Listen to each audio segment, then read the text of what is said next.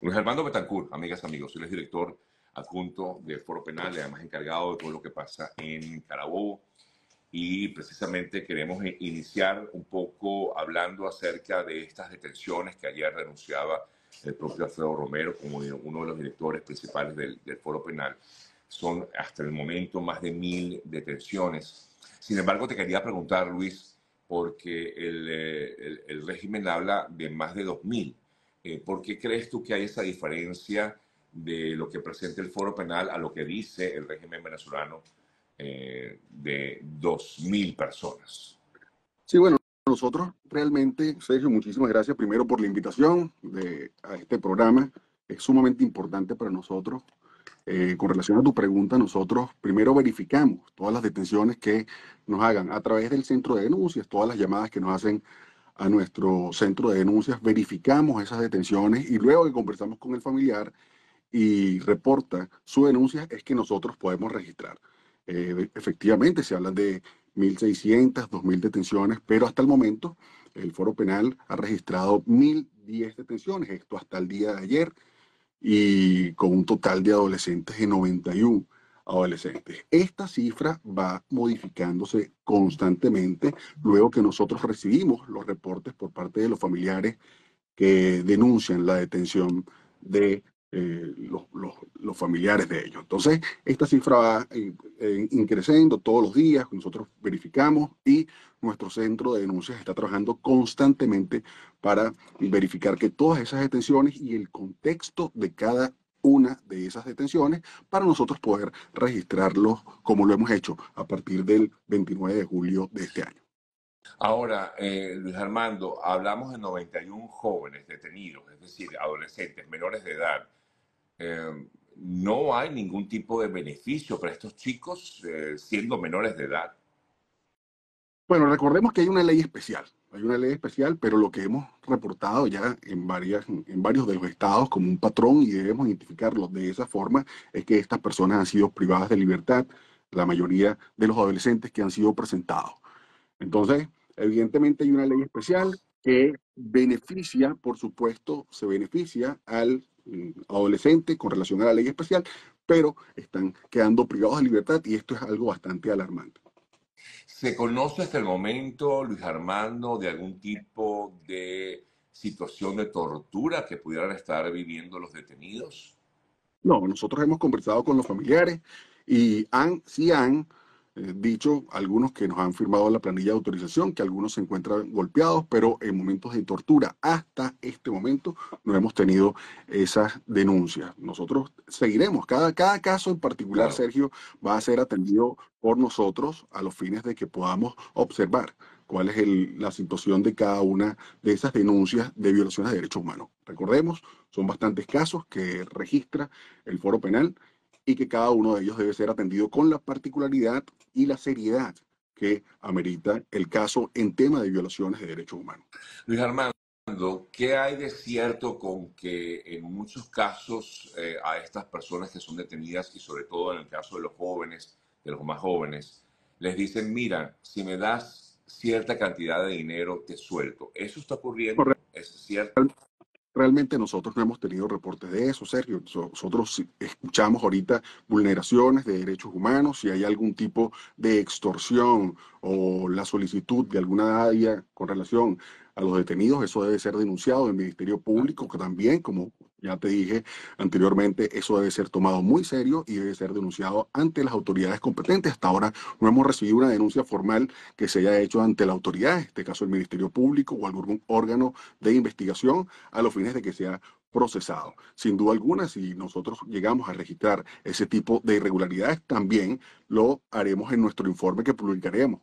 Eh, y estamos publicando todos los días, y lo haremos, lo haremos con el informe correspondiente cuando narremos todo lo que lo que vamos a decir de toda esta situación que ha ocurrido de forma completamente irregular, donde sí se han vulnerado derechos fundamentales.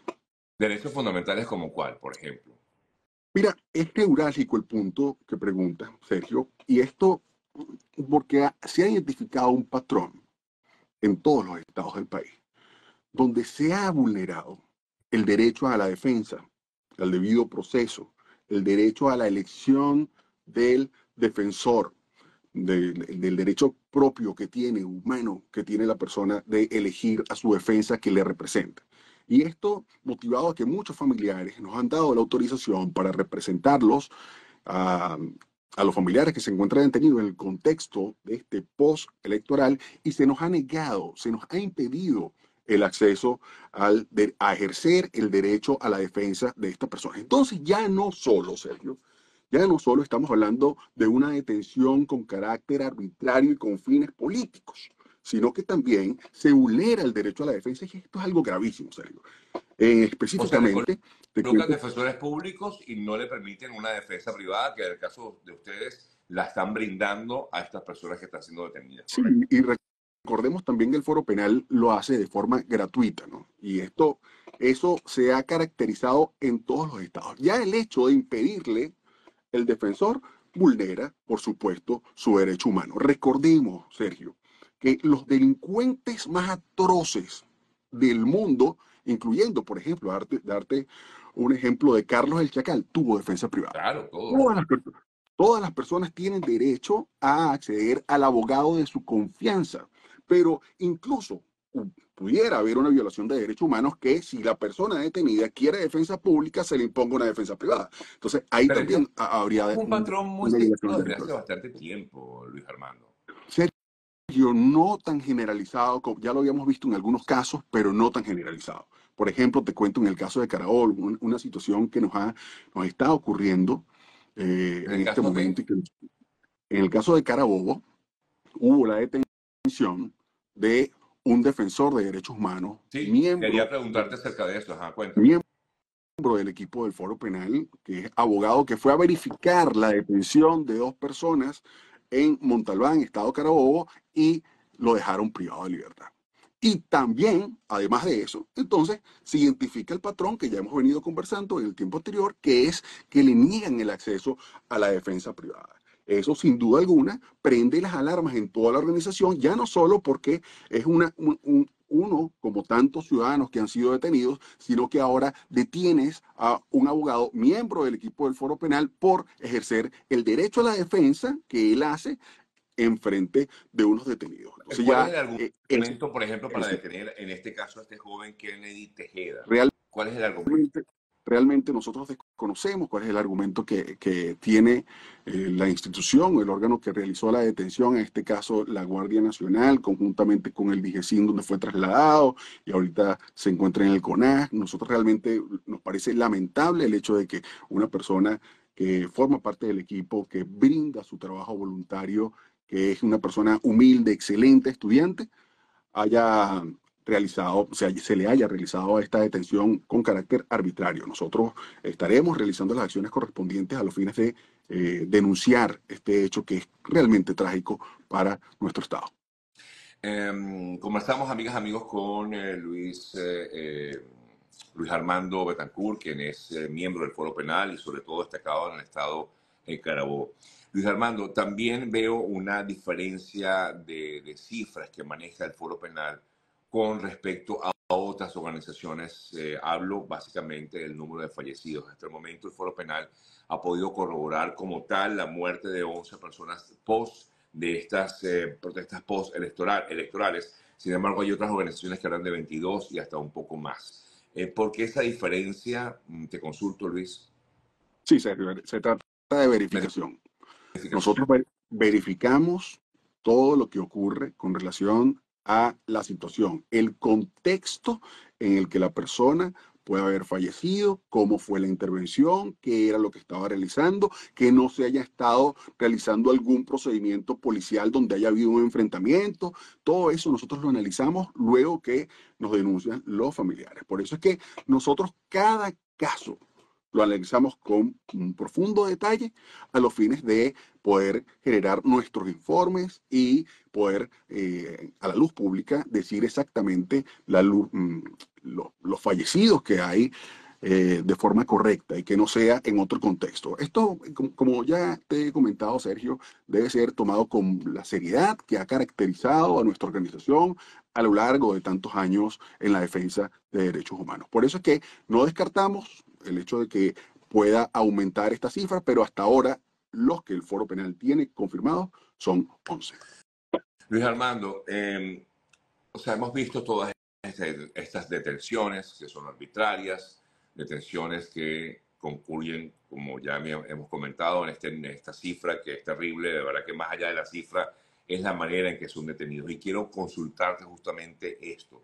Es cierto que muchas de estas personas que son detenidas son buscadas en sus residencias o buscadas en los lugares donde habitan. Esto ustedes lo pueden corroborar o fueron detenidas eh, infraganti en medio de la protesta o en alguna situación eh, o perseguidos eh, durante, luego de la protesta. Sí. ¿Puedes darme algún detalle al respecto? Nosotros, las denuncias que hemos recibido, incluso la autorización que nos dieron a lo largo de los familiares, han dicho que es en el contexto de una manifestación o en las adyacencias de la manifestación. Eso es lo que nosotros hemos registrado. Sin embargo, hemos visto, hemos recibido denuncias. nuestro centro de denuncias ahorita realmente recibe constantemente eh, relatos de familiares que van contando cómo fue la detención. Son pocos los casos que hemos registrado con relación al, al ingreso de personas en el contexto de la contienda electoral a sus viviendas a los fines de poder mm, privarlos de libertad, pero la mayoría de los casos es en el contexto de la protesta o en las inmediaciones de la protesta. Te cuento, por ejemplo, relatos que han hecho en el estado Carabobo, personas que decían que o manifestaron que se encontraban en un lugar y lo sumaron a otro lugar como si fuese eh, estando, hubiese estado la persona en esa manifestación. Esos son el, tipo de denuncias que recibimos y lo que nos comentan, los que, lo que comentan los familiares al momento de la detención. Recordemos que hablar de la detención en flagrancia es que realmente está cometiendo un hecho punible. Claro. Nosotros lo que nosotros, lo que nosotros estamos denunciando es que si la persona y esto es importante también decirlo, eh, Foro Penal defiende a las personas que, hayan, que, que, se les vulnere el derecho humano, pero bajo ningún concepto, Foro Penal va a defender a una persona que haya estado cometiendo realmente un delito o haya estado realizando actos violentos. Que, que, haya estado dañando los bienes públicos, que haya estado agrediendo a algún funcionario eh, eh, policial o, de la Fuerza Armada. Esto es lo que nosotros, por eso es que nosotros analizamos cada caso en concreto y no podemos, por lo menos, vincular a las personas que hayan estado cometiendo hechos violentos con las personas que hayan sido detenidas o arrestadas arbitrariamente. Es, por eso la seriedad y la cifra que nosotros vamos evaluando para luego darle la calificación que ya tú bien sabes, Sergio, Sergio que eh, el foro penal califica los tipos de presos políticos y luego que nosotros analizamos pormenorizadamente cada situación que nos hayan denunciado. Estas 1.010 personas que hasta el momento, digamos, es el informe que presentó más reciente el Foro Penal, ¿pueden considerarse presos políticos? Luego todo eso lo vamos a calificar. Ahorita vemos que hay arrestados, son arrestados con fines políticos. Luego daremos de estas personas, la gran mayoría de las 1.010 personas que tenemos ya han sido privadas de libertad. Ahora falta que el foro penal le dé la calificación luego del estudio que ha realizado el presidente y el vicepresidente de la organización, donde han calificado los, las categorías o han categorizado los presos políticos. Esto requiere un estudio, requiere un análisis serio de cada caso en concreto para no eh, decir cifras que no son y que se confundan presos comunes con presos políticos. Te pregunto, Luis Armando, como representante del Foro Penal, ¿qué recomendaciones puedes darle a las personas a esta hora, eh, sobre todo eh, tomando en cuenta de este tipo de detenciones arbitrarias? Por lo que puedo observar y conversando contigo, efectivamente lo que está ocurriendo en Venezuela es eh, que hay detenciones arbitrarias y que básicamente estas personas no están siendo eh, defendidas eh, por la persona que ellos deseen ser defendida, es decir, no tienen un abogado que ellos puedan nombrar. Pero ¿qué recomendación le das en todo caso al venezolano que nos está viendo y que está en el país y que de repente es, es víctima de algún tipo de esto, de acoso o de persecución en medio de una protesta? ¿Qué, recomendación das normalmente? Creo que lo primero, eh, Sergio, es nosotros no se puede guardar silencio. Aquí hay que denunciar. A personas que le hayan violado, vulnerado su derecho humano debe denunciar. Hay que documentar la violación al derecho humano, denunciar ante las autoridades correspondientes a los fines de que esto pueda ser procesado y posteriormente condenado, juzgado, sancionado. Recordemos, Sergio, y esto es importante también decirlo, y no, no, no, vamos a descansar en continuar enfocándonos en esto. la violación a los derechos humanos no prescribe, pero es importante que las personas puedan denunciar y registrar esta violación de derechos humanos. Siempre hay que exigir a los tribunales, al Ministerio Público, a la Defensoría, a los académicos, a las universidades, a las iglesias, a las instancias internacionales, que se respeten las garantías establecidas en la Constitución de Venezuela. Que lo único que nosotros estamos pidiendo es que se respete la Constitución, que se respeten las leyes especiales y además de eso, que se garantice todo lo que en el mundo jurídico ha arropado desde la formación de la democracia acá que es precisamente el respeto a la, el Estado de Derecho, que se cumpla con lo establecido en todas las garantías y principios jurídicos fundamentales. Esa es, nuestra exigencia y nuestra recomendación a todas las personas que aún no han denunciado, denuncien a los fines de poder procesar su denuncia y cuenten ah. con la asistencia de, hasta donde el Estado nos lo permite, que hasta este momento nos ha impedido la representación de muchas de las personas arrestadas arbitrariamente, eh, para nosotros poder representar a estas personas en el marco del respeto y garantía de los derechos humanos. Mientras dices esto y alguien comenta, denunciar para qué si nadie nos apoya, dice Armando, que escribe por este lado. Precisamente, entonces hay que, habría que devolver la respuesta. ¿Por qué no denunciar? ¿Por qué no denunciar? Precisamente si estamos hablando de un, de un derecho, que, mm, una violación, un derecho humano que no prescribe y que en el transcurso del tiempo, bien sea mañana o pasado, esto va a ser sancionado y puede ser juzgado y así lo establece la Constitución, es mejor siempre dejar registro que no hacerlo. Recordemos que la omisión a, una, a una vulneración del derecho humano, Sergio, estar en complicidad con el agresor. Entonces nosotros preferimos siempre denunciar, eso sí, en el marco de la seriedad, responsabilidad y también dentro de la Constitución. Me preguntan, ya que estás en Carabobo, ¿qué se sabe del caso de Vicente Escarano y de su padre Enzo? Sí, bueno, nosotros estuvimos en el tribunal hace unos días donde se nos dijo que había sido trasladado eh, el hijo de Enzo Escarano. Nosotros desconocemos cuál, cuál es la situación ahorita jurídica de él ni por qué se le está procesando, debido a que recordemos que se impide el derecho a la defensa mm, privada. De hecho, el día que fue trasladado al Palacio de Justicia de Carabobo, fueron cerradas las puertas del Palacio de Justicia y no se le permitió el ingreso a ningún abogado privado. Entonces, realmente la situación... ¿Y, de, y de, eso se conoce algo? ¿Se desconoce su paradero? Realmente nosotros desconocemos. Eh, hemos estado eh, ubicando, tratando de, ver la, la, información con relación al quien está privado de libertad, al cual nosotros debemos exigir que se le garanticen también sus derechos y garantías constitucionales como venezolano. Veo que se repite mucho esta pregunta, te la hago. No sé si eres el, el indicado para responderme, pero igual te la voy a hacer eh, ¿Qué pasa con la Corte Penal Internacional? Porque no hay un pronunciamiento a pesar de que hay, en todo caso, una oficina de la CPI en Venezuela, con, viendo todo lo que está pasando en Venezuela actualmente. La CPI es un, un organismo autónomo y ellos tienen su procedimiento a los fines de pronunciarse con relación a los derechos humanos que ya están siendo investigados. Nosotros, eh, la exigencia que hacemos y los reportes que hemos hecho ante la Corte Penal Internacional, eso sigue su curso. Eh, lamentablemente, Sergio, y esto también debemos ser responsables en, decirlo, la investigación penal internacional no es tan rápida como uno quisiera. Esa es una una de las debilidades que tienen los organismos internacionales en esto. Nosotros quisiéramos un poco más de celeridad, pero eh, eso no depende de nosotros. De eso se trata la autonomía en las instituciones. Sí, sí, sin duda alguna. Eh, también eh, te consultan que si, si realmente es, te consulto, ¿es ilegal llevarse a menores de edad detenidos?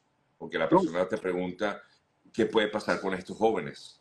¿Pueden ser Bueno, no liberados? es, no es ilegal, no es ilegal llevarse a una persona detenida o a un adolescente detenido si está cometiendo un hecho punible. Claro, El problema está cuando está cometiendo, cuando, cuando la detención es arbitraria. claro. Ahí sí es, es completamente ilegal y esto debe ser denunciado en las instancias nacionales e internacionales, tal como lo vamos a hacer. eh, con el reporte que tenemos de los familiares. Evidentemente, eh, la garantía al derecho a la libertad es un, un- un derecho absoluto y debe mantenerse en el marco de solamente con la excepción de que una persona haya cometido un hecho punible o en su efecto tenga una orden de aprehensión. Pero evidentemente lo que estamos denunciando de los 91 eh, arrestos con fines políticos a los adolescentes es que fueron arrestados de forma eh, arbitraria y con fines políticos. Y eso es lo que nosotros venimos denunciando. Evidentemente, bajo ese contexto es ilegal. Sí. Eh, en, cuanto, y discúlpame, eh, pero en cuanto a el grupo de, de- de personas que está siendo detenida, entre ellos se encuentra este joven del cual hablábamos hace rato, que forma parte del foro penal. Eh, su, ¿Cuál es su estatus en este momento de, eh, estoy buscando el nombre, pero eso fue que me, Kennedy Kennedy, Kennedy Tejeda Tejeda. ¿Qué- ¿Cuál es su estatus en este momento? se encuentra privado de libertad, Sergio, y, y- y no hemos tenido comunicación. Pero ¿saben Lo- Los, dónde está por lo menos? sí se encuentra en el comando de la Guardia Nacional del Estado Carabobo, Ok. eh, en, en el CONAS. Eh, en- entendemos que la familia ha podido llevarle el, el alimento y, y ha, y ha- y ha podido conversar brevemente con él, la, la madre de Kennedy Tejeda, pero no ha podido tener comunicación con sus abogados de confianza, que somos nosotros, el equipo de Foro Penal. Ya, Realmente nosotros ejerceremos todas las acciones. Sergio, que en este caso de Kennedy para lograr su liberación. Es cierto que existen detenidos con condiciones de discapacidad. Leyendo un poco los comentarios de las personas que están conectadas, Luis. Sí, nosotros tenemos dos, en, en Carabobo, en el caso de Carabobo, hemos tenido reportes de personas que se encuentran con afecciones en su salud y uno de ellos nos reportó que eh, había una persona adolescente que eh, tenía un problema de eh, cognitivo. Claro, entonces, realmente, eh, pues, esas son las cosas que estamos, que estamos evaluando y diseñando el plan para cada uno de los casos. Así que realmente, y esto es no, no es importante fácil para ustedes, Luis, me imagino, hacer todo este trabajo, porque definitivamente no. también son perseguidos, también son, eh, eh, porque vemos el caso de haber detenido a uno de sus integrantes, ya ahí vemos una persecución también en contra de ustedes, ¿no? Definitivamente, Sergio, y esto es algo que, que, que lo que busca es intimidar al equipo del Foro Penal cuando nosotros, Foro Penal no comete delitos, Sergio. Foro Penal defiende a las personas que son arrestadas o que se le han vulnerado sus derechos humanos.